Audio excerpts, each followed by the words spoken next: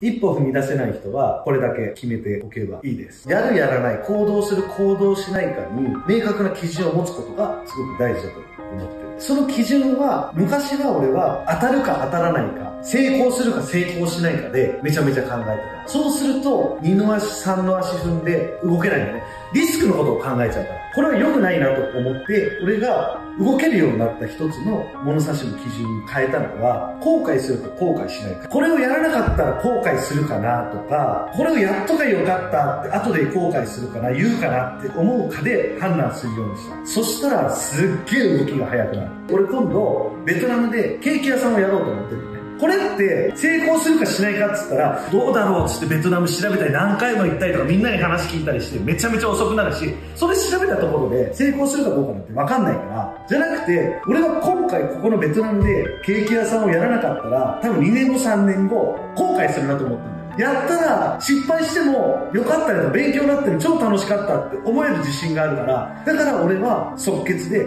やるって決めた。その価値基準が決めれないんであれば、成功するかしないかじゃなくて、後悔するかしないかで考えてほしいと思ってます。